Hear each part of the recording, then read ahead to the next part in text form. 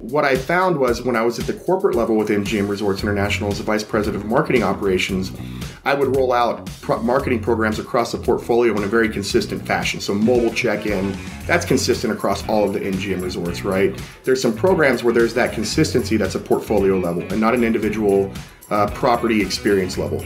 Well, I tried to do the same thing launching this rideshare program. What I found is there was such a vast difference in the way the properties were built, where was the rideshare located, uh, how large was the space they had available. And what I did is I invited a group in. I invited the rideshare partner in. I invited the stakeholders into each property, and I held a meeting at every single property. And we went through the process together of ordering a rideshare in one group. And we said, okay, I'm in the casino. I need a car. What's my experience? Welcome to How I Made It in Marketing from Marketing Sherpa.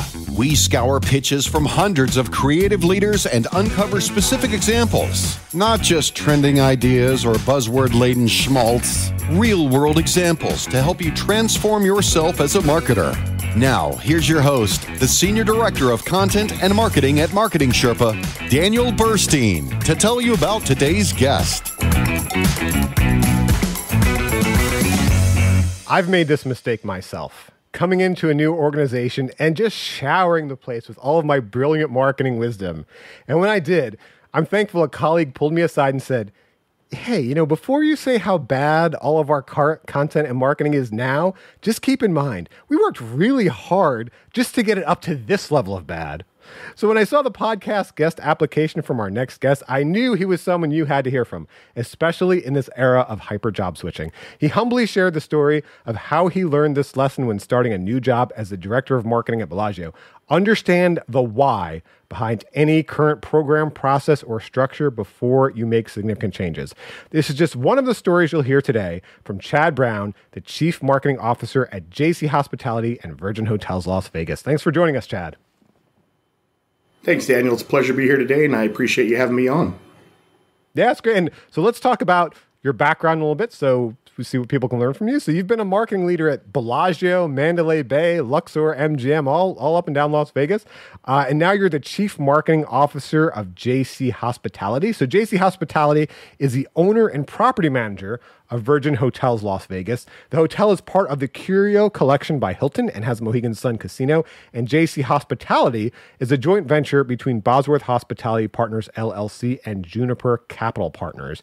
And Chad, I'm going to ask him what he does in just a moment, but he manages about a $7 million marketing budget. 10 direct reports and five agencies five agencies so chad give us an idea what does it mean to be the cmo of jc hospitality what do you do well, JC Hospitality is a management, investment, and development company. So our role is to go out and find products and services that we think we can enhance, come in, take them over, uh, whether that requires a remodel or not, and a rebrand, uh, and then we launch them out in the market. And then, you know, over a period of time, as they gain value, we look to turn those and look at other projects. So we had the opportunity uh, at JC Hospitality to acquire, uh, sorry, Hard Rock Hotels um, in Las Vegas and uh, at JC Hospitality, uh, we manage the operators that are on property that you just mentioned. So that's really our role as an ownership group. Okay, great. So we're going to dive into that background and find out, you know, what stories and lessons we can learn from your experience. And the first one, like I mentioned, I love this one because I've made this mistake myself. Understand the why behind any current program, process, or structure before you make significant changes. So take us back to when you were starting as a director of marketing at Bellagio. Yeah, I was uh, I was the hotel marketing manager at Treasure Island and had made several significant changes while I was there. Together with the marketing team, had a great marketing team there, and so I got a phone call from Bellagio. They had a director position open, and I, I went over there and interviewed. And they had a website that had been stagnant for you know many years. They had a sales program through signed packages that hadn't been touched in many years. Um, and I was really excited to go over there. I had all this energy. I wanted to change the world. Bellagio being a marquee brand in the hospitality industry, I couldn't have been more excited. I wanted to go in and I wanted to add value immediately. And as a young director, I went in and of course with all that energy, I started making some significant changes. What I failed to do was to develop the relationships with the folks that created those programs before I got there.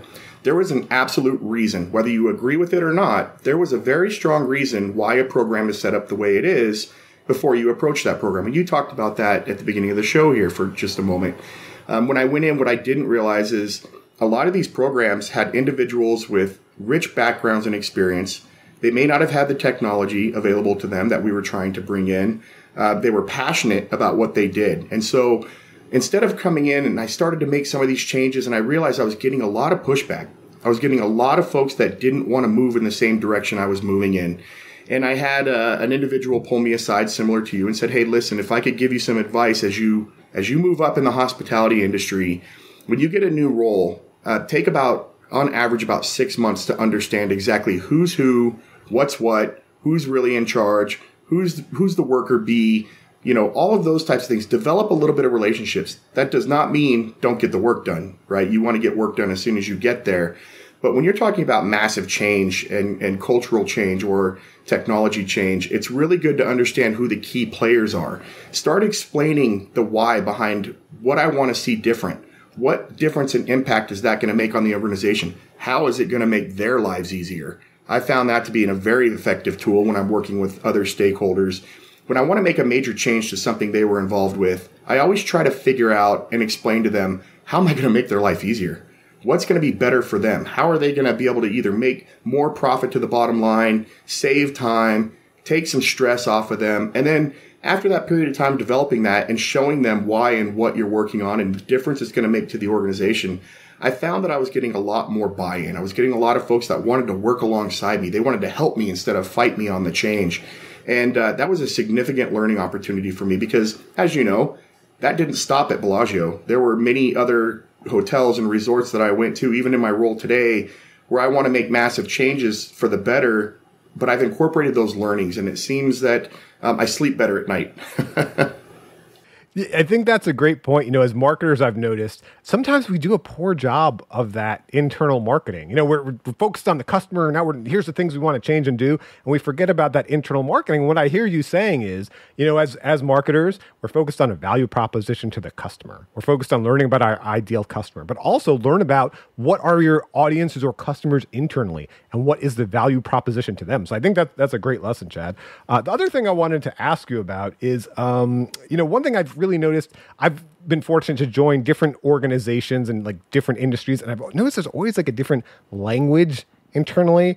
And it reminds me of uh, I was interviewed by Wharton's Catherine Hayes on Sirius XM a few years ago, and she said something that still sticks with me. She said, uh, "We're in violent agreement that changing mindsets and changing the way that people think has a lot to do with the terminology that we use in marketing.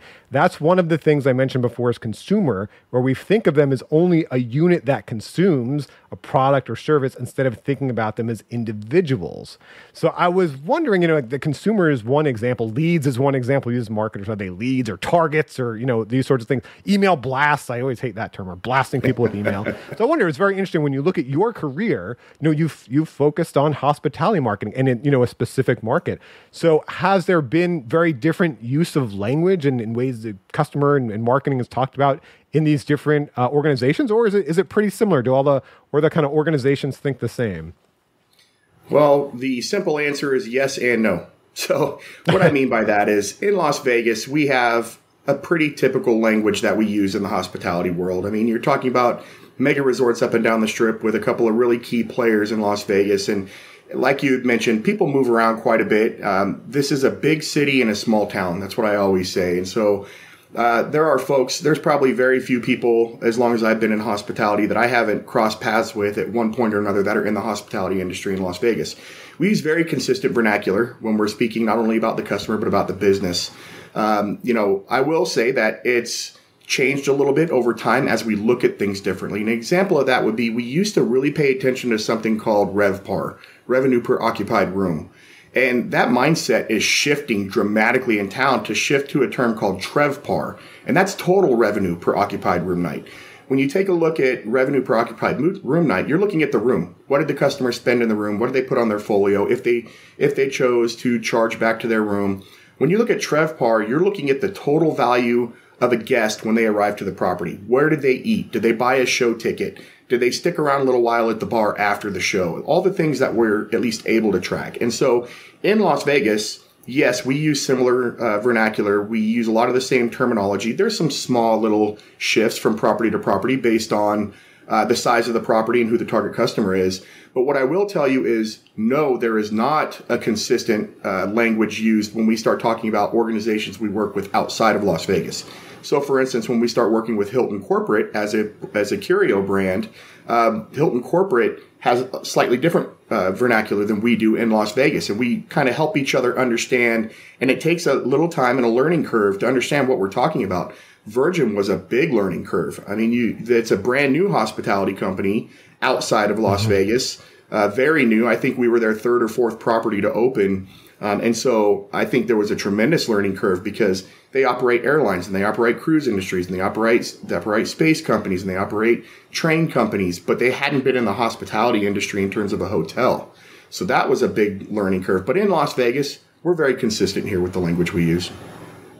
Yeah, it's great. I mean, one thing, you know, you mentioned going into an organization, asking the why. I mean, one thing, you know, I've always noticed is also there's a certain fluency, right, that you have to have in that industry or in that group when you're, you know, that, hey, yes, I speak the language. I know what you're talking about. Is there anything that you've kind of brought from one hotel to another where you're like, hey, I've got to change the language. I've got to change how we talk about these things because that ultimately changes how we affect the customer? Have you had to bring that to any of your partners?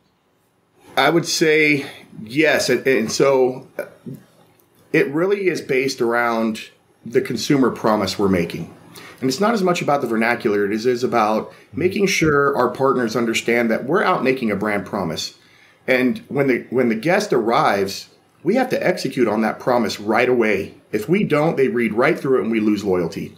And so there's a big internal component to this with internal training, uh, guest service training, guest service standards and and verbiage. By the way, uh, we use a lot of whimsical and fun verbiage in Virgin Hotels Las Vegas as opposed to the other resorts. Uh, so, for instance, the restrooms we don't call them men's and women's; we call them sirs and hers. There's a lot of that kind of fun, a uh, little bit cheeky language we use, and so there's a big training component that we need to bring on to work with our partners to explain what does this mean to the consumer when they arrive on property what are we doing to make sure that what I'm out there promising them is delivered upon when they arrive? And if we miss that mark, uh, it's not a good story. Yes, I love that. I love that. And I think that's where also like a clearly defined value proposition comes in because we as marketers, we're putting we're on the line, man. We're out there, we're making those promises. So you can't just make those promises, hey, it's great marketing, I'm walking away. you got to be in that organization, you got to be passionate, you got to be an advocate for the customer and for the audience and make sure all those promises you put out there with that great creative that the organization and your partners are actually following up on. So I love that, Chad. That's great. Um, let's talk about your next lesson here. You said get scalable fulfillment in place before you generate demand. And so I think this was a great example where something worked well in one organization, but then you went into Mandalay Bay and it was just a whole different, even though again, it's the same industry, same city, even just a whole different situation. So can you tell us about that? Yeah, absolutely. One of the cool ideas uh, myself and, and, my team had when I was at Bellagio uh, was to launch a, a e-commerce site called BellagioShopAtHome.com. And this website really allowed guests who enjoyed the Bellagio brand to be able to go home and purchase the hair dryer if they really liked it, the trash can if they loved the design. They could buy the drapes, they could get the bed. Uh, it was a really successful site we launched. And, you know, there was another site we launched on top of that called uh, JeanPhilippeChocolates.com from one of our famous chocolatiers that was on property at the time. And they were working fabulously. Now, Interestingly enough, to the to the consumer, they didn't really know the difference. But when we would conduct a transaction on this website, what really would happen is behind the scenes, our gift shop would get an email. They had a giant warehouse, and there would be an order there. They would fulfill that order from the retail store on property and ship that out, with the exception of the mattresses. That was a drop ship, um, and we were able to maintain volumes. Uh, you know, it's a it's a higher end product, a little bit more expensive, and it was all Bellagio branded product but it went really well and it was a good success story for the resort. So when I moved over to Mandalay Bay to be the executive director of marketing there, I thought, wouldn't it be cool to create a Mandalay Bay brand of product, you know, a product line? There wasn't a lot in the rooms. There was, but it wasn't the same brand, right? So it was a more cool, hip resort style brand. And so I tried the same thing. I, you know, we went out and we created products. We created a luggage with Tumi. We created golf bags. We, we had a swim line up and down the west coast of Mandalay Bay swimwear. What where I missed the mark is I didn't realize when we started to fulfill those orders, I was inundating retail. They could not handle the number of orders that were coming in. And so we were shipping late. It was a bad consumer experience. We didn't have products, uh, you know, that were readily available for the consumer. And I had to take a step back, turn it off, shut it down for a period of time, and go out and find a good licensing partner that could help me through all of those logistics because I thought for sure, oh, it worked there, it's going to work here, and it was a whole different ball game. And I didn't take into consideration, I didn't do the market analysis that I should have done. To be honest with you, I'll be the first to raise my hand. Great learning opportunity, but really, we should have stepped back and thought about the scale of what we were launching and the impact again that that was going to have on retail. Uh, because it worked somewhere else does not always mean it'll work exactly the same where you're at now. And that was a big learning opportunity for me there.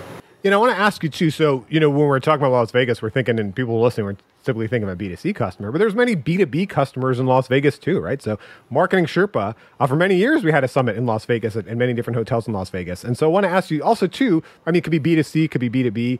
But um, when we talk about that scalability, because a lot of what we were talking about there was probably a difficulty to scale. So if it sold, and honestly, if you were less successful, it probably wouldn't have had a problem, right? If you didn't, if you didn't sell as much. So we talk about that scalability. I wonder what's the importance of finding the ideal customer for that product, right? Because when you're trying to oversell it, that's when you have scalability issues. And I think back, I want to hear you have to say there, but I think back to the very first guest in our podcast. Uh, it was a company called Snap ADU.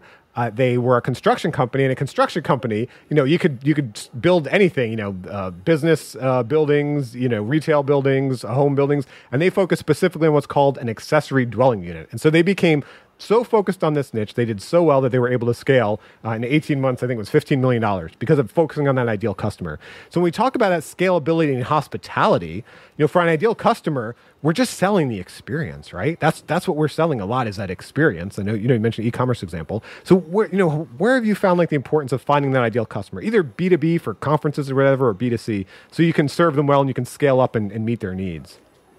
Yeah, that's that's actually a really good question, uh, and it comes up in a different form uh, every now and then. But in Las Vegas, uh, the size of our resorts, the number of rooms we have, the number of restaurants we need to support, the entertainment venues, uh, the conference space is gigantic here, right? And so each property is slightly different. The way we manage the ideal customer, if you will, is more through market mix. So we manage, let's bucket some together. It's roughly four markets that market mix that we managed for a successful resort. We look at convention, very important. That is the foundation of the room blocks. That's what helps us yield our revenue to the property. We have casino customers. Every hotel that has a casino has a casino database. And yes, the casino customer can cross over with the non-gaming customer in hospitality, but traditionally they have different needs, they have different desires and different wants. So we do market to them slightly different. We have the wholesale customer we package quite a few different components into this, but that would be your Expedias, uh, your online tour operators, your uh, overseas operators, and then we have the transient customer. That's the individual travel customer, you and me, who want to book a vacation with our family, and we go to the website, we do the research, and we book the room. And so for us, each one of those customers bring a different value to the organization in terms of margins, the minimum spends, the room rate. And so for us, the challenge is how do you maximize that mix and make sure you're getting the right customers in that mix? And one is 40% of the business one month and it's 25% of the business the next month. You've got to adjust those other levers to make sure you're bringing in consumers that one are, are brand advocates for you. You don't just want to be everything to everybody. I, I don't think that's the right solution, but you want to manage those mix. So when I dive into transient, which ultimately is the core of where I'm out marketing in the in the consumer market through television commercials and billboards and online advertising. Um, when we look at a target customer, what we're trying to do is go out and make a brand promise of what they can expect when they arrive. Our customers are much broader in terms of demographics than most of the other places I've been. So, for instance, we target a 25 to 54 customer. That's a pretty broad range. But to us, the resort, uh, you know, when Peter Morton bought Hard Rock, I'm going to step back for one second here he had said Hard Rock was going to be a resort for a new generation. Well, Hard Rock was open for 25 years before we closed it, which is a, roughly a generation. So when we re- reopened Virgin Hotels Las Vegas, we wanted to reopen as a new resort for a new generation. Well, a generation to us is, is not an age. It's a lifestyle. It's characteristics. It's buying behavior. It's what you're interested in. Are you into fashion? Are you into design? Are you in, are you a foodie? And so it's a broad range. You could be a 26 year old entrepreneur that's doing really well, that's into fashion, or you could be a 54 year old individual who's made it and you're advanced in your career and you're looking for that upper upscale getaway, and they can converge together in the resort and get that experience that we're promising. Um, where I think you see some of the resorts, and, and by the way, when we reopened as Virgin, a lot of previous Hard Rock customers came back. And there were a few, admittedly so, that came in and said, wow, this is not the Hard Rock anymore. This is not for me. That's okay. We didn't create a property that was something for everybody. We're we created a property that was going after target customers, right? And so that was okay. There's other properties for them to enjoy. We didn't shut them out. They're always welcome. But to your point, we're very particular in how we target customers. It's very important to make sure that you're targeting customers who want the product that you're offering. If you bring a customer in that ultimately doesn't want that product, it doesn't matter how great you do. It's not what they want. They're not going to be happy, right? So we strive to be flexible on the floor, uh, develop customer service standards that um, we believe are top notch in the city as an upper upscale resort, uh, and also be able to uh, deliver upon what the guest needs are and try to anticipate those needs. Even if we didn't hit the nail on the head in terms of the customer that's coming in, we could still try to provide the best experience possible. Yeah, that's great what you said. I don't want anyone to overlook it listening because that's kind of the hardest thing we do as marketers is say, you know what, these group of customers, we can't serve them best and they're not our ideal customer set and, and we shouldn't try.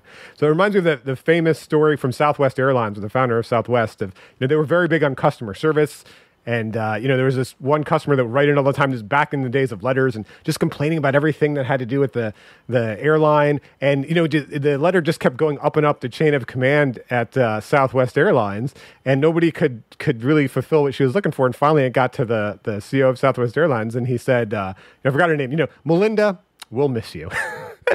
and it was that idea, and I think it was a great lesson for the hall, for his all company, and really for all marketers. Is like you, you, if you're really going to serve someone well, or a group well, or even like that group of you know four you talk about well, you're not going to serve everyone, and you got to be okay with that, and you got to you know admit that you're not going to try to try to go after them. Um, but that market mix you talk about, I think, is a great tie into our next lesson in four different groups, where you say allow for customization while maintaining brand standards and services. Because I'm sure you have to do that in that marketing mix, and you also have a great example of how you did that uh, back at MGM, where you, how you learned that lesson. Yeah, so um, at MGM, uh, I was very fortunate to be a part of a group that launched a partnership with a rideshare company early on in the rideshare process. Uh, what a lot of people don't understand is many of the hotels in Las Vegas were built years ago, and they were really built for taxi service, and that's okay. Taxis are a very important component of the business here in Las Vegas. Rideshare is a completely different beast. And so we were getting into that game. We noticed that more and more of our consumers were using rideshare. We wanted to provide a service to them that was above and beyond their expectations. So we partnered with a rideshare company. And part of that partnership was to develop pickup and drop off locations uh, to develop those out with seeding, to brand them with our partner branding, to get in front of our rideshare partners and make sure that their maps were correct and that we were getting notifications out if there were road closures or any of those kinds of things. And there was some wayfinding signage we needed to add to the property so people knew where to go to get their car. Um, and so what I found was when I was at the corporate level within MGM Resorts International as a vice president of marketing operations, I would roll out pro- marketing programs across the portfolio in a very consistent fashion. So mobile check-in, that's consistent across all of the MGM resorts, right? There's some programs where there's that consistency that's a portfolio level and not an individual uh, property experience level. Well, I tried to do the same thing launching this rideshare program. What I found is there was such a vast difference in the way the properties were built, where was the rideshare located, um, how large was the space they had available, what was the signal service within that resort? Uh, if you've traveled to Las Vegas, you know, and it's gotten tremendously better over the last few years, but previously, we're talking about, you know, 2014, 15, you didn't necessarily have the cell phone and the Wi-Fi signals within the resorts, these big concrete resorts that when you went to get your ride, you knew exactly where to go. So wayfinding was a very important component to that. What I found was as I went to implement these packages at each one of the properties, they didn't fit. It didn't work right. It didn't come across right to the consumer. Some instances, it didn't create the optimal customer experience. I was trying to force uh, branding in and force a design in that didn't fit right, was maybe over what the budget was because we were trying to force it in. And so what I did is I, I worked with the stakeholders from each of the properties. That would be their property vice president of marketing and their and their property president. And what I did is I invited a group in. I invited the rideshare partner in. I invited the stakeholders into each property, and I held a meeting at every single property. And we went through the process together of ordering a rideshare. in one group. And we said, okay, I'm in the casino. I need a car. What's my experience? Went to order it. And when everybody saw what that experience was as we walked there, you know, the rideshare company would say, hey, you know, we found tremendous uh, success when we implemented this type of wayfinding or this type of signage. The stakeholder at the property level would say, you know, we have an opportunity. We're going to be moving this and creating this new sign package or moving this store. We have a new walkway that we're developing right now that cuts around the backside. Let's use that because that seems like it's a lot easier and we'll create breadcrumb signage for them going that direction. Um, we, in some instances, completely moved the location based on the experience that the stakeholders and the rideshare partners had as we walked to that location said, we just crossed three lanes of traffic to get to this rideshare pickup.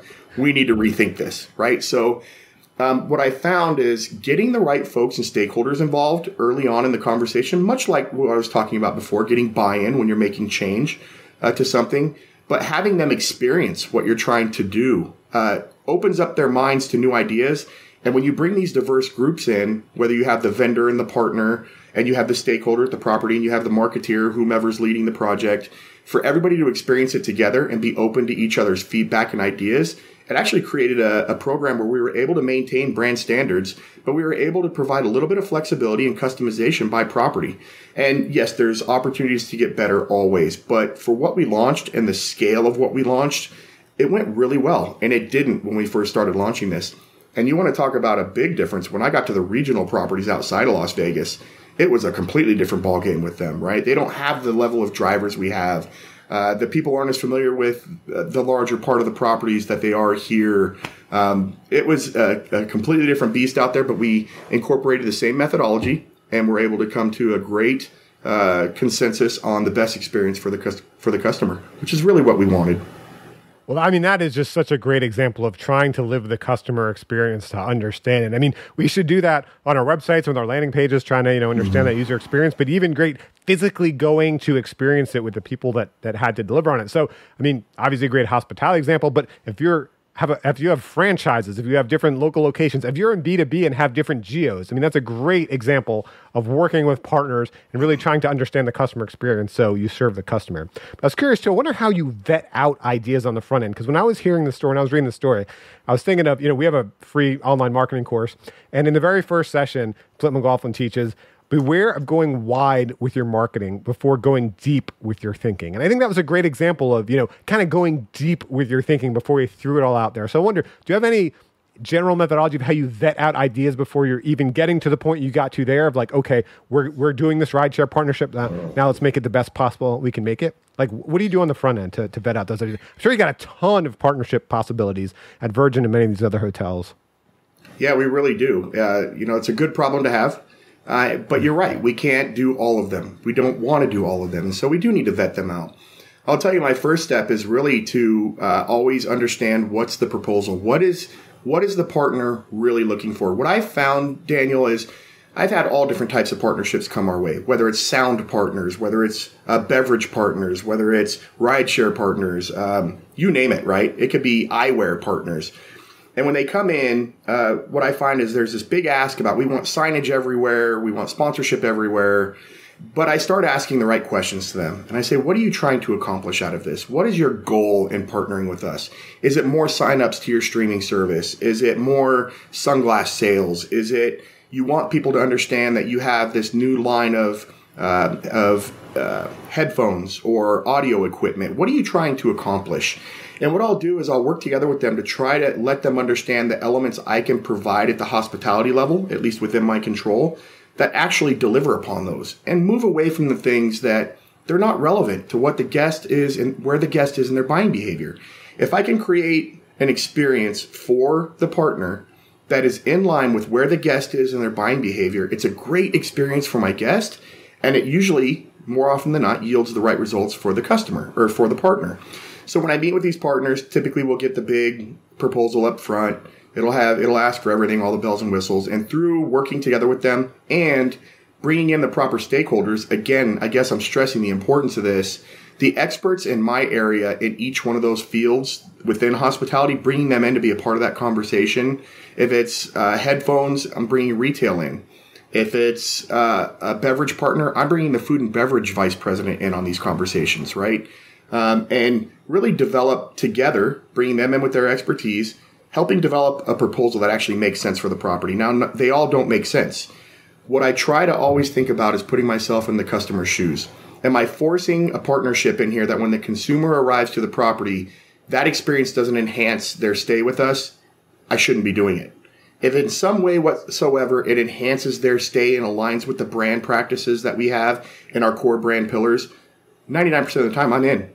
As long as I don't have a, an exclusive or non compete or something like that, right? So, again, to recap, it's about bringing the stakeholders in on my side that are experts in that particular area. It's about working with the partner who really, what I find, Daniel, is a lot of people don't understand the Vegas market until they get here and they're on the floor. It's just an incredible machine. It really is.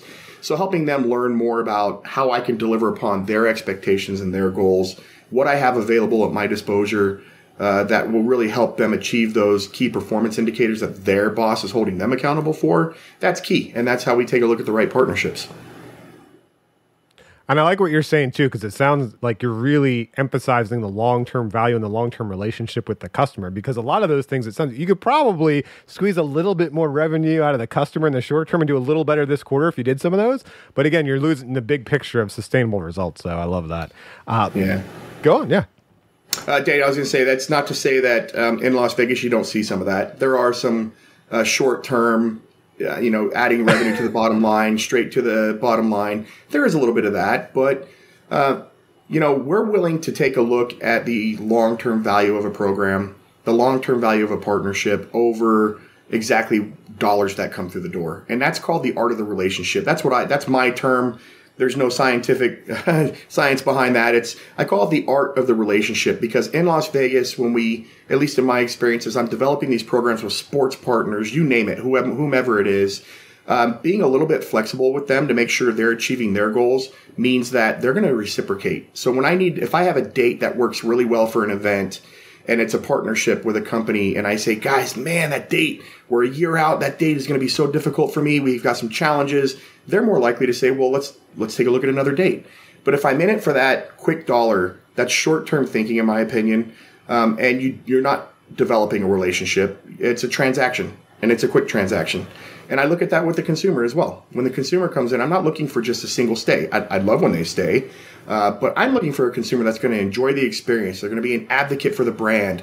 They're going to dine in our restaurants and go, wow, what else do they have here? I got to check out this other restaurant. They're going to talk about the concert venues we have. And when we have the right lineups in there and we have a diversity of music in there, they're going to come back and they're going to tell their friends. I want that long term relationship, both with my B2B customers and with my B2C customers. I like what the, the key words I heard you say there the difference between a transaction and a relationship. So we have to realize that transaction versus a relationship is very nice.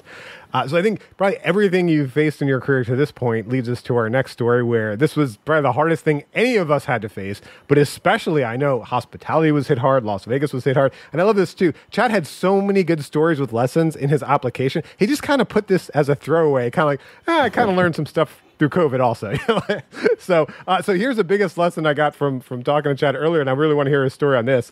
Um, you know, launching in the middle of COVID, have a Gumby attitude to any launch. So how did you have to have a Gumby attitude during COVID, and what did you go through? Boy, it's uh, I've launched. I've been blessed to be a part of a lot of different launches of of marketing campaigns and programs. And, uh, you know, when I moved over to Hard Rock, I joined the company two weeks before Hard Rock Hotel closed for renovation. Uh, luckily, we were closing at a time when we really didn't know what was going on with COVID. We closed February 3rd, the day after Super Bowl 2020. COVID was starting to come up on the radar, but we really didn't understand what the, the long term impact was going to be. Um, and we thought we were set up for success. We had provided a bonus to all employees who stayed until the last day they were able to pool their vacation with unlimited vacation and get paid out on that vacation on the last day. We invited them to come back to Virgin when it reopened without an application and with their seniority, so they didn't have to reapply for their jobs. And I'm proud to say 90% of the individuals that worked at Hard Rock stayed until the very last day. And of those individuals, 80% came back to work on day one. Really incredible story there. What we didn't anticipate was COVID. So we close in February. we start going through the remodel process. We're out creating, uh, you know, brand platforms for Virgin Hotels Las Vegas. We're working with Virgin Corporate. We're working with Hilton. We're developing out with our agency what is this campaign going to look like? What's our brand promise? What are our brand pillars? And it's time now to start telling the public about Virgin Hotels Las Vegas. Well, number one, everything's closed. So we had, we couldn't get a hold of any actors. We couldn't get a hold of any television crews. We couldn't get a hold of any directors. I mean, it was incredible. We're thinking we're going to open in less than a year. We've got to start getting the word out there about the property. And so we were very fortunate. We had uh, hired a wonderful agency. OH Partners is our creative agency, and Matter Films is the production arm of OH Partners out of Phoenix. Um, they were able to help us. Trim- I mean, we had to go out and source talent from a lot of different areas. Um, we didn't have a property to shoot. The property was completely under construction. So I'm going to go out and tell people about this new property, and I can't show it to them yet.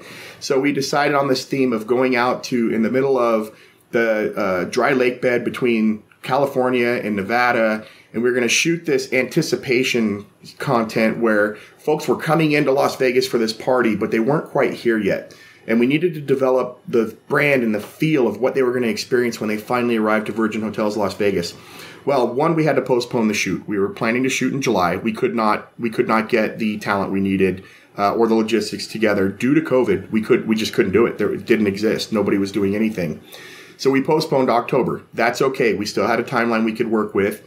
Um, having that Gumby attitude again and saying, okay, let's readjust. What does that mean to getting into market? What does that mean to our media plan? Right? What ripple effect did that have moving that?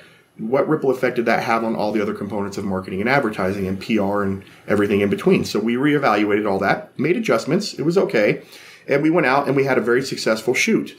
Uh, the shoot was very interesting. We couldn't have more than 50 people in a single location. So we had two camps. We had to bus four people at a time to the set. I actually couldn't be on set. I had to watch from a motorhome from a television screen with a walkie talkie in my hand and talk to the director back and forth about you know, what did I see there? What did I like to see different? Um, we had to we had to have packaged meals. We had to have a uh, COVID specialist medical unit on site. Uh, and so another flexible Gumby attitude we had to have was on budget. We had to understand that if, if we were going to get this done, and I'm very thankful I worked for a leadership group that understood this as well, uh, we had to be flexible a little bit on the budget because there were circumstances in play that were beyond our control that were going to cause additional uh, costs to the overall campaign work. And so um, these things came in, we reevaluated them, we figured out, okay, what do we, what should we really do? Let's be responsible. What is really needed and what is a nice to have? Uh, and we worked through all of that, and we really turned out a really wonderful campaign. We got that campaign into market. Uh, we were running that commercial uh, all over the West Coast with syndication all the way over to the East Coast. And on March 25th, we decided to hold an official opening of the resort. Now, the resort wasn't 100% complete. The resort pool wasn't complete. We had some rooms out of order, but we felt it was so important to get the locals back to work again. Everything had been closed for so long. There were some major economic hardships in Las Vegas. I mean, I, I respect the fact that the whole country got hit hard, the whole world got hit. Vegas, that depends on tourism and travel, was destroyed. I mean, it was demolished. It was, yeah. I, in my 45 years I would have bet you 50 paychecks that nobody would ever shut down the strip. It was a ghost yeah. town and it was scary. It's very scary. So we needed to reopen. We needed to get folks back to work that we promised would come back to work. And we opened the resort with 50% occupancy into the hotel. That's what we were allowed to have per COVID regulations. Masking, six foot distancing, uh, plastic shields between every machine. We had to pull bar stools, couldn't sit at the bar because you didn't want congregation. Um, and so what we decided to do, great learning opportunity here. I was talking with the the owner and the president and CEO, and I said, you know, let's hold off on a grand opening celebration. It doesn't feel like it's the right responsible thing to do. Let's do an official opening. Let's get the property open. And by the way, let's focus on the local market. These are the people that supported us the most when we were Hard Rock. They're the biggest megaphone for Las Vegas. Everybody calls their Vegas expert before they come here. Where should I go? What should I do? The locals are that Vegas expert. Uh, we want to get them back to work. We want to get local media in here. We'll keep it small, and and uh, we were very very happy to say that it turned out it went very well. It was a we got much more of a reception than we expected, so we had to manage that from a crowd control perspective, and we and we were very responsible about that. And then we held a grand opening in June, and we called it Unstoppable Weekend. Our television commercial and our whole brand campaign is based around us unstoppable. And it's really the invitation to folks that the red velvet ropes are gone. Everybody's a VIP. Come in. We're going to treat you with respect. We're going to treat you with dignity, and all are welcome. And so, following along those guidelines, we held a party called Unstoppable Weekend instead of grand opening. We had the large party; it was safe to do so at the time, and it was an incredible experience between the March date and the June date. And we saw a lot of those restrictions fade as we got to June as things got a little bit better. So, man, the, the number of learnings we had. Oh, and one more thing I think it would be fun to add. Uh, the CMO for Virgin Hotels is a good friend of mine, Doug Carrillo. Uh, we were talking about a, a stunt for the official opening, right? And we thought, wouldn't it be cool? We have this. If you haven't seen our commercials, we have a British double decker bus that's wrapped with Virgin Hotels Las Vegas. And we use this bus quite a bit in a lot of our advertising. It's a beautiful bus. It was actually in circulation in Piccadilly Circus in London, uh, 1960s bus. Uh, and we've refurbished it. It's beautiful.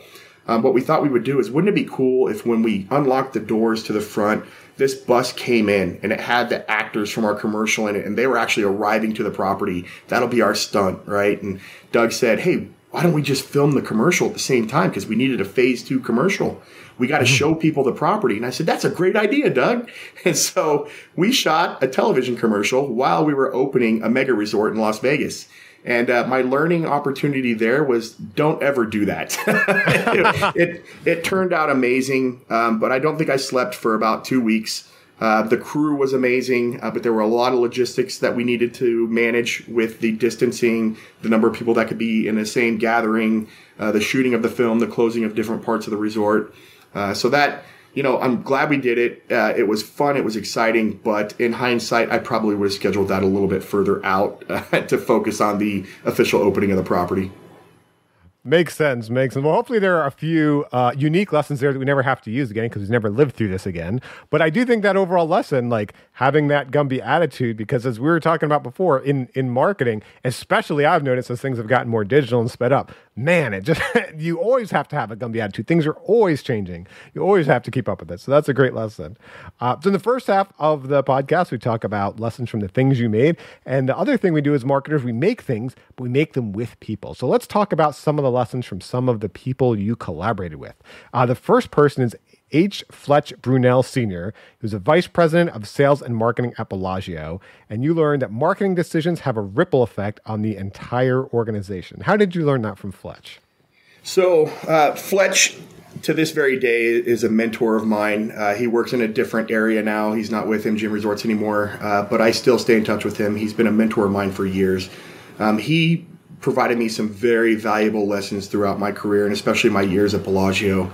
Uh, this particular example, um, I was at Bellagio for you know a year or two, had starting to get settled down, and we were working on some luxury programs for the property. Uh, we were working on programs like American Express Fine Hotels and Resorts, Leading Hotels of the World, All Tour, All Tour Hotel Collection, some of these upscale travel uh, luxury sales companies that we were partnering with as we were negotiating some of these agreements, um, we wanted to provide some services that went above and beyond to these high value consumers that were coming in.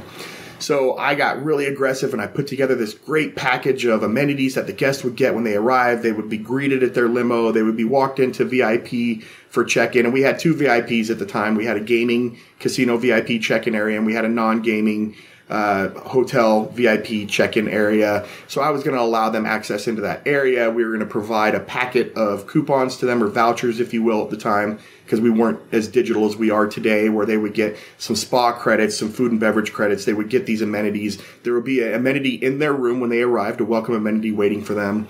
Um, and so we started evaluating what the volume of this program would look like for the resort. And as we started to look at the volume, uh, Fletch kind of nudged me and said, Hey, do you understand the impact you're going to have on the rest of the operations of this property when you launch this program? And I said, Yeah, I'm going to make a lot more money for the resort. And he said, No, that's not what I mean. right? He said, Think of, think through this a little bit. You now have to have a manager on duty, a hotel manager or an assistant hotel manager, greet every guest that arrives each day. And if you plan on having 25 arrivals per day, that person is going to be out at the car at the porte cochere 25 times per day greeting, standing out there waiting. What are you taking them away from that their responsibilities are? As they walk in, we know what the volumes of our non gaming VIP check in services are. You're going to add a group that day now that are going to come in and utilize those services that are in there. They're going to we're going to have to think about the agents that are available in there to check them in so that we don't want them waiting at all. They come in, they check in, they go. What about the vouchers, Chad? Who's going to who's going to stuff the envelopes? And and one thing I thought was very interesting, they didn't have to go into VIP check-in. They could, if somebody didn't greet them or they got into the resort, they could go to the main check-in line. Well, at Bellagio, we could have up to 1,200 check-ins in a day, and the average check-in time being, let's call it a minute and a half. By explaining the program that I was launching to the customer when it was flagged in the system, the customer would arrive. I'm Chad Brown. I'm here to check in. Oh, Mr. Brown, you're part of this program. Let me tell you a little bit about it. Here's your vouchers. Here's where you can use them.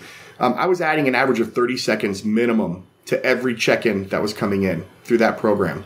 Now, when you take a look at onesie twosies, it's no big deal. But when you start thinking about 1,200 check ins and the volume's growing with this program, you could ideally increase check in by 600 hours in a day. If if not all 1200 were going to be part of this program but there were multiple programs i was launching. So odds are a majority of the folks were going to be a part of these programs. You can't increase check-in by that much. The lines would be incredible. You know other things like the in-room amenity those have to be delivered by somebody. There's a cost associated with that um, in certain resorts where it's a hard cost you're required to pay out of the marketing budget a hard cost to have those items delivered. Well, now I have all these items delivered, and I'm, I, the bellmen are delivering them. I'm taking them away from bringing people's luggage up to the room because they're delivering in-room amenities. Uh, it it just opened my eyes. I thought, holy cow! I had this what I thought was this spectacular marketing idea where we were going to create this program that was going to be such a benefit to the consumer. And I didn't realize these small changes in different operating areas could create a huge ripple effect across the resort. And so that was, I mean, a light bulb went on. And all these programs, every program I launched since then, I think through not only what's the consumer experience, that's extremely important, but I think, you know, we've kind of talked about this quite a bit uh, today. What is the impact to the organization? And how do I make sure I get the stakeholders involved to say, hey guys, here's what I'm thinking. Does this work? Do you have a different idea? Are there obstacles that I'm not aware of that you can you can tell me about? that we can overcome those obstacles by shifting slightly or having that Gumby attitude and changing it a little bit, not being so dead set on this is the way I set it up, this is the way it has to be. Um, we were able to change that program, make modifications by bringing the stakeholders in and launching a very successful uh, luxury sales program for Bellagio at the time. But I can't imagine if Fletch didn't have that insight to slow me down a little bit and say, "Hey, let's think about this. What are you doing here? What's what's going to happen over here?" And I just kind of put my hands in the air and said, I don't know. That's not my area. Um, as a marketer, and especially as you continue to grow and obtain additional responsibility, these are things you have to think through. You have to, because marketing impacts every square inch of the organization. We touch everything from HR to security to front desk to housekeeping to entertainment to food and beverage, you name it. We work with them in some form or fashion. Um, and so you really need to be careful in what you're doing and bring the right folks in to make sure you're not creating a negative experience for your internal clients, which are your team members.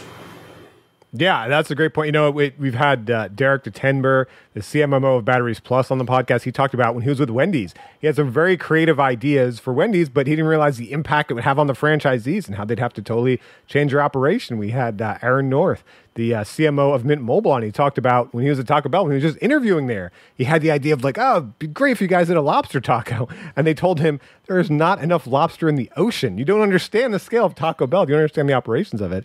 And so I think what I hear you saying, which I love, is that marketing cannot exist in a silo, right? You have to get involved with the entire organization. And your next story is, I think, a great example on a personal level, on a very personal level, because yes, we're organizations and all these things, and we need to understand the operations and but we're also human beings and need to understand the different human beings we work with. So you learned uh, from uh, Renee West, the president and COO of Luxor and Excalibur Hotel and Casinos, to be self aware of how others perceive you, or more importantly, your delivery of information. And again, this really came down to a relationship with another human being. Even if we, we give them a title, it's another human being. So, so tell us about this. How'd you learn this?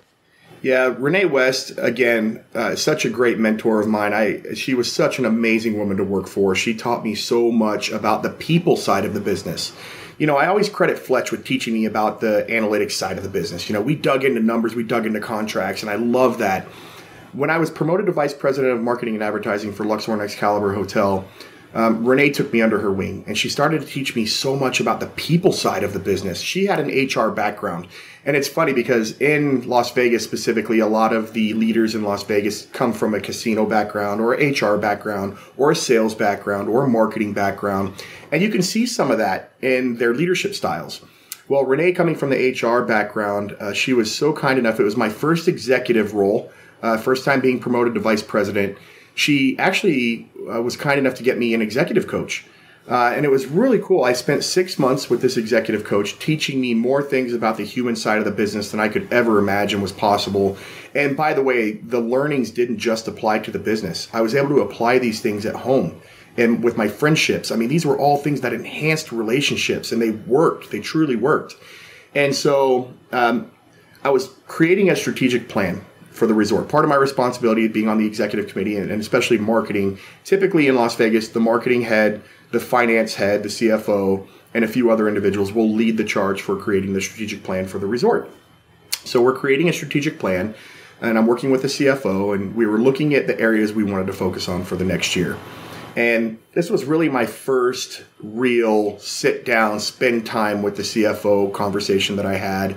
And I was talking about these numbers and I and I said, well, hey, we should focus here on these numbers because the surveys have shown that we've lagged as a resort, as a property in these areas. And he said, well, how do you know that? I said, well, when I was at Mandalay Bay, this was actually a huge focus for us. So I got the company statistics and I could see where everybody was in these. And I saw that there was a great opportunity for uh, development uh, for these properties when I came over. And so um, I went and I got, I actually pulled the statistics and I pulled all the information. I thought, you know, this is going to be great. It's a CFO. I'm going to bring in all this backup and I'm going to bring in these numbers and everything else. And I think what happened was I came across in a way where um, it wasn't delivered in a way that was that he wanted it delivered or that he was uh, willing or, or hearing things i was delivering it in a way unintentionally that wasn't being accepted so of course part of renee's leadership style is always development people development and she brought a group in uh, for the executive committee to spend a couple of weeks with this group to analyze uh, our personalities to analyze um, you know, how do we come across to people? How do people come across to us? What buckets do we fit in in terms of psychographics? All these different things to help us be more self aware to become a better leader. And I had a big aha moment, as, as we've been saying today, when the instructor put up on the screen a graph chart. And it was each one of us, our names weren't on it, it was just a color. And it went across all these questions about our personalities and where we scored on these on this assessment. And I see right around number eight, it was about self confidence. And there was one that kind of went along and it spiked its self confidence. There was another color that went along and it went to the bottom of the chart on self confidence and back up. And a kind of a light bulb went off. And I realized, man, I think what's happening is, is I'm trying to be so prepared that I'm turning off the conversation because that individual feels like I'm coming at them like they don't know what they're talking about. And so by adjusting my communication style, by adjusting the way I approach things in these meetings, I would come in and instead of saying, "Hey guys, I did all the research, I have all the facts and figures, I have the numbers, I have the backup, I did the guest the customer research," I would come in and present my my content and say, "Hey, do you see anything in here I might have missed? Do you agree with this? Is there something in here that doesn't seem right? What would you do differently? Is there something you'd like you would add in here?" By being more inclusive in my communication style rather than factual, I was able to mend that relationship to get a better working relationship together. And really, as I honed in on those skills together with both my executive coach um, and through this training program, becoming more self aware in group settings, whether that's my team, whether that's counterparts, whether that's if I'm in a room full of other individuals and we're speaking. I've really honed in on reading cues from people, whether it's facial expressions, body language. What are they saying? How are they communicating back to me? And I've learned some pretty small steps, but are significant steps in slightly adjusting my communication style when I pick up on these red flags, right? I don't want to turn anybody off. I don't want to come across as very arrogant. And for somebody who's self confident, you can come across as arrogant. And especially to folks that aren't as self confident, maybe that's an area they're not score as high in, but they score really high in other areas. People that are self confident can come across as very arrogant to people who are not self confident. And so if you can recognize those things and you can start to adjust the way you, are speaking, and don't be fake. I don't mean to be a fake individual. Just adjust. Have that Gumby attitude. Be willing to maybe ask a few more questions than telling, right? Be willing to listen a little bit more. If somebody's being very quiet, ask them, hey, I'd love to hear your thoughts on that. What do you think? I, you know, I'm not always right. There's probably something in here I missed. Did you see anything in here? You know, invite them in, invite them into the conversation. And so, uh, that was a big learning opportunity for me. It actually patched up a relationship that was a little rocky, and and uh, we were able to work very well together after that. So you mentioned like some like visual and audio cues that you notice now to like, kind of look out for. Share, you know, share some like an example or two with us. Like, what, what are some of the biggest things you look out for now when you're talking to someone that, that you've learned that? Sure, there's there's a lot of different things, and some are extreme and some aren't. I would say, you know, a sigh, an eye roll, if you catch that. Uh, individuals that start being disengaged, maybe they're looking at their phone a little bit more and they weren't earlier in the meeting. Uh, individuals that they were speaking before and they've shut down and they're not saying anything. Um, it could be that uh, you know there's some subtle cues you could pick up on on how individuals are communicating with each other if you're coming across the wrong way. And you know and you you have to be self-aware though daniel. You've got to be looking and paying attention. A lot of folks uh, they just want to get through a meeting or they want to get through whatever it is that they're in talking about and presenting on. But if you take the time to observe you're going to pick up on these things. You're going to see it. And it's not to be defensive, it's to say, okay, something's not quite right here. Let me try something a little bit different. Let me ask a question or let me open it up to the group or let me soften a little bit of my presentation so it's not cramming my information, you know, into the meeting. I think there's others th- those are a little bit extreme. There's other other subtle cues that you can pick up on. When they speak back to you, what's the tone in their in their speech? Um, are they excited? Are they monotone? Are they normally monotone? I mean, there's there's so many little cues that you can pick up on. Um, are they critiquing everything you say? Are they coming back and you're giving a fact and they go, "Well, where'd you get that?" You know, those type those are types of things that a lot of times people will get defensive, right? Instead of getting defensive, just think about, "Well, how am I being perceived right now?" Because perception is reality. I'm trying to be a nice guy. I'm trying to be a team player, but I might not be coming across that way. And if the perception is, no matter how hard I'm trying to, if the perception is I'm not doing that, I've got to figure out how to change that perception. I'm not going to change it by forcing what I'm doing right now even stronger, right? I'm going to change it by adjusting my communication style, by being inclusive, by trying to figure out what are those things that I'm saying or doing when I notice that there's a reaction. Okay, let's either stop doing that or figure out why I'm doing that and, and figure out how to do it more effectively, right? So it's a there is a little bit of science behind it, Daniel. It's something that I spent actually I had my executive coach for six months. Uh, the Renee West was kind enough to extend that into a year because I was getting so much out of it and I was so passionate about it. She said very few people actually enjoy these sessions, so if you're enjoying them, I'll give you another six months. And I said I'm learning a ton, and so there is some science behind it. There is some practice behind it. I had to practice, uh, and and there's story after story of implementing these things um, I, I, don't want to go too long here, but I had another, I'll be real quick. I had another team member in a group setting. I used to have a weekly meeting with the entire team, my agency, everybody. And I noticed one person was being very reclusive, and she normally wasn't. And I could tell, you know, her her skin tone was a little red. I could tell something was really bothering her. I asked her once, "Hey, do you have any input? Is everything okay? What do you think of this?" And she she said, "No, I'm good." I asked her a second time, "Hey, I'd love to hear from you," and she said, "No, I, I had nothing to add." And so the third time I said, okay, this isn't the right setting. I waited for everybody to leave the room and I said, hey, so and so, would you mind staying back for a second? I got to ask you a question about this report or this project we're doing. And after everybody had left in privacy, I sat her down and I said, okay, hey, if you're comfortable with it, I'd love to know what's going on. You don't seem like yourself today. You're usually really engaged and active. And listen, we all have bad days, but it just didn't seem, you didn't seem like yourself. Is there anything I can help with? Is there anything you, you want to talk about? And if not, that's perfectly fine. I respect your privacy and she opened up, and I mean, it was just a lot coming out. And the next day, I show up to work. This had never happened to me. I had a plant sitting on my desk with a card, and I opened that card, and she had filled out both sides. And she was talking about the fact that she had never worked for a leader that sat down and took the time to hear her out.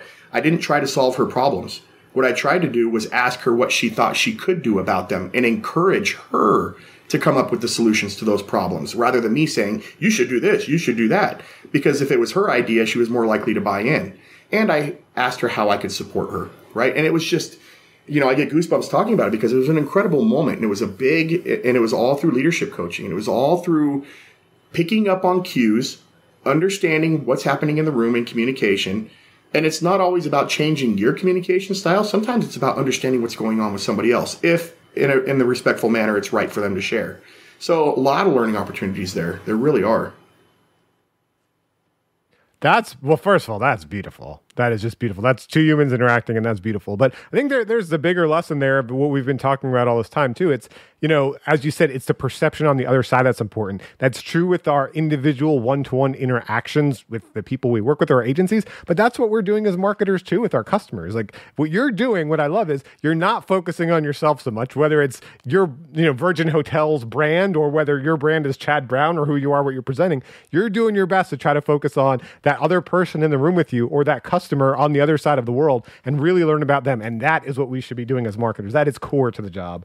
Uh, so let, us end with this story. I think there's a perfect story to end with because we've talked about a lot of difficult things, right? From getting through COVID to understanding other people to even you know getting e-commerce set up correctly. This is a difficult job, and so I love that we're ending on attitude because we can get through all these difficult things so much better if we have a good attitude. And you mentioned uh, you learned this from Lillian Tomovich, Chief Marketing Officer MGM Resorts International. A positive attitude can be viral in any setting. So, how did you learn this from Lilian?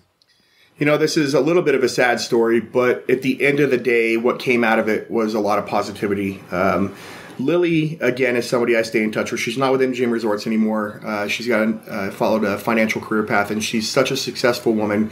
She is so much about her team and inclusivity of her team, knowing that everybody brings value in the team. And I, you know, the first day I met her, I was a, you know, I was a little nervous. I was a new vice president. She's a new CMO coming in, and I sat in a room with vice presidents, and she's talking through. She came in and she was just bright. I mean, she brightened up the room. She came in smiling, saying hello to everybody, and it was genuine.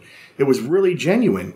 And she sat down, and we start talking, and she's talking about the direction we're going to go as an organization, and she stopped and for whatever reason she said, "Chad, what do you think of that?" Maybe she was reading my cues. I don't know. And I thought. are you really want to know what I think, or are you just, you know? So I, I said some things, and she said, you know what, guys, we should think about that a little more. Let's go back and take a look at that reporter. Let's go back and ask these questions. Chad's got a good point. And I thought right off the bat, brand new CMO, you know, a brilliant woman, had a CMO background already in the financial industry, came in, met a brand new vice president, and valued what I had to say right off the bat. And didn't just say, "Oh, that's great, thank you." She was like, "Hey, you know that you actually bring up a good point. Have we thought through that? Let's look at that a little deeper." I can't tell you uh, that that right there started off a great relationship with us. And that leads into uh, an unfortunate situation October 1st, uh, mass shootings at Route 91 in Las Vegas. Um, as you had heard earlier, I was with Luxor and Excalibur for a period of time, and that festival lot was actually my entertainment lot. So I programmed that lot. And I uh, was part of a team that actually developed the Route 91 program. The entertainment team did a, such a phenomenal job with that. And on my side, I helped uh, brand and market that uh, and activate that wherever I could add value at the property level. And so I had just moved over to corporate when I was reporting to Lily as the vice president of, uh, of marketing operations for U.S. properties with MGM Resorts when this happened. And it hit home with me. And I was added to a emergency communications team. There was about 15 of us. Uh, we were woken up at about 10 o'clock that night. We all went straight into work, uh, and we didn't leave for two weeks. We sat in a room. We had televisions on. We had our computer screens up. We were calling in our national creative agency. We, we hired a third party agency to come in and help us understand what is the right thing to do here. What is the right communications to put out? What should what can we do to be responsible right now to help people? Uh, and we were monitoring social media. We were watching the news. We were responding PR way. You know, it was it was incredible. And, and I served overseas in the military. I'm a veteran of foreign wars. And um, I think that two weeks in that room uh, was probably some of the hardest time I've ever gone through.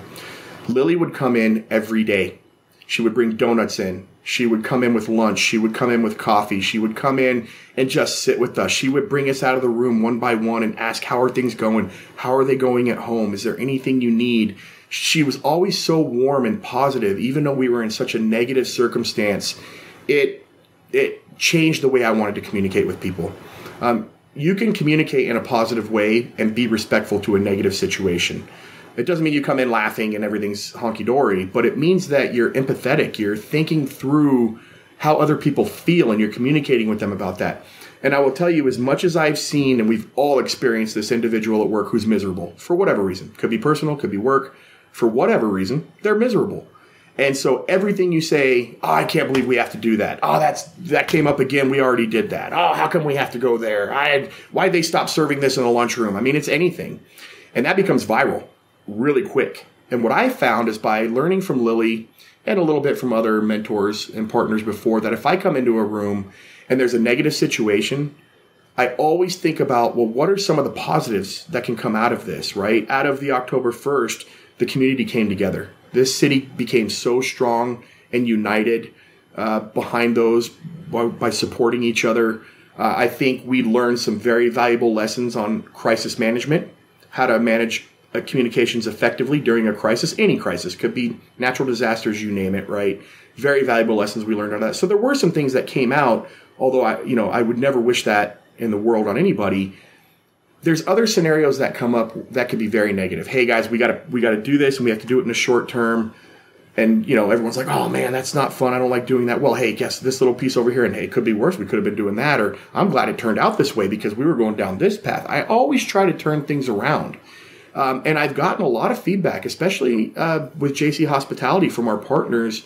We're in such a high stress industry to begin with, and you bring four world renowned operators together to run a single property, and they all are experts and can drive down the court with the basketball and score on their own at any minute. And we're asking the five of them to use one ball together and go down the court and maximize the score. Um, having that positive attitude with everybody when things can be really, you know, can be tough to get through, can have some tough conversations, but smiling, always saying hello, going out of your way to walk across the hallway to engage with somebody. Um, I've, I've just, it's something I work on every day. I'm not perfect at it. I could do so much better, and every day I try a little bit harder. But I've gotten a lot of feedback from other executives that say, "We love when you come in the room. You're always greeting everybody. You're smiling. You're why are you always happy?" And I say because attitude is a choice. I choose to have a positive attitude the only thing in my entire life that I have complete control over is my attitude. That's it. I don't have control over anything else. So why not make the best of what I have control over? And I always say that I can train you in any job. I can teach you, I can get you training, I can get you the hardware, I can buy you the tools and software. I can help you get that experience. What I can't teach you is attitude. I can lead by example. But attitude is so important, Daniel. Um, and it's viral because it's kind of that pay it forward mentality, right? When you're positive and you're greeting somebody, they're more likely to turn around and say hello and smile to somebody else. And that I see that spread and it's so powerful.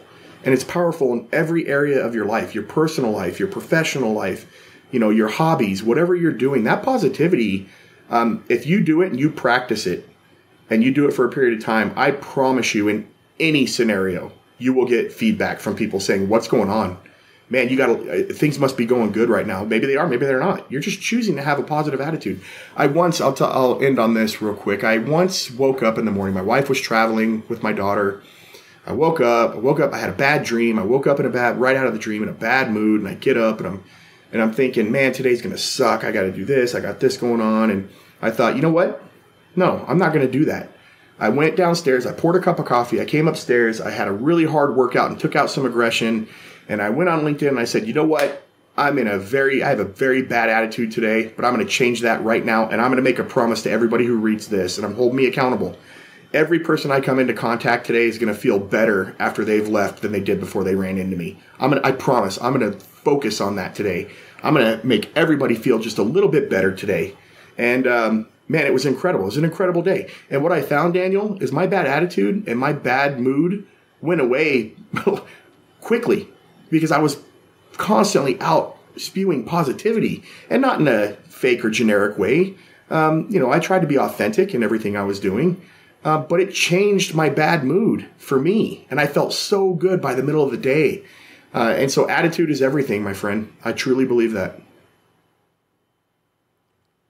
I like that, Chad. I'm I'm better today from having interacted with you. That's beautiful. I think, and also just the story you told man, chills down my spine. I think anyone who's going through anything difficult today while you're listening to this, maybe you don't have enough leads, maybe uh, you know your creative idea got shot down. I mean, if Chad and Lily can go through something so difficult like that and try to bring the best positive attitude to it, we can bring the best positive attitude towards everything. That's beautiful. Uh, so let's end on this. We talked about a lot, Chad. So let's distill this down. If you had to distill the entire career down, if you had to distill what you look for in a hire, in a partner, in yourself down, what are the key qualities of an effective marketer, in your opinion? Well, we talked about it over and over, and I would say a positive attitude. Uh, I look for that right off the bat uh, with anybody I speak to or anybody. I try to provide that as well to anybody I'm engaging with. I think um, something I found to be extremely effective with leaders is inclusivity.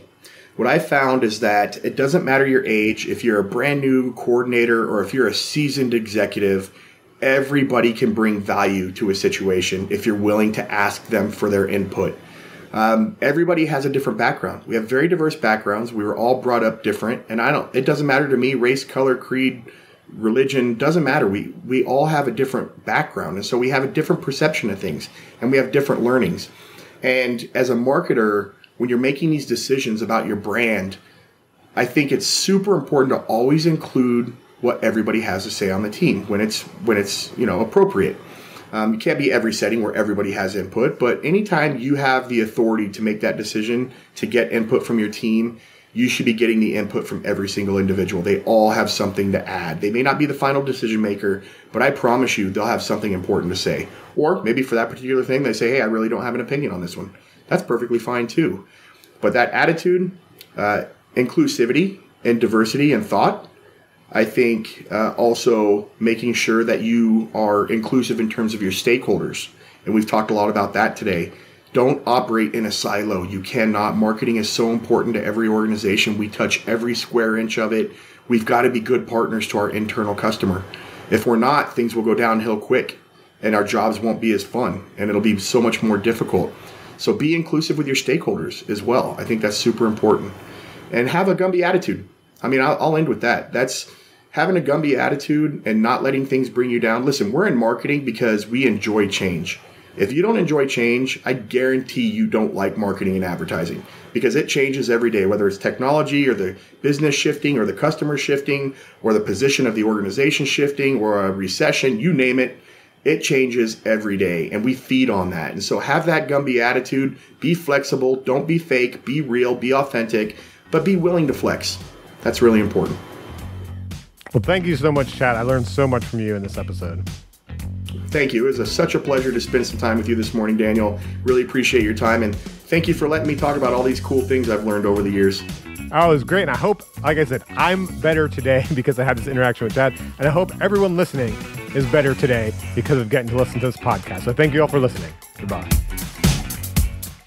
Thank you for joining us for How I Made It in Marketing with Daniel Burstein. Now that you've gotten inspiration for transforming yourself as a marketer, get some ideas for your next marketing campaign from Marketing Sherpa's extensive library of free case studies at marketingsherpa.com. That's marketing, S H E R P A.com.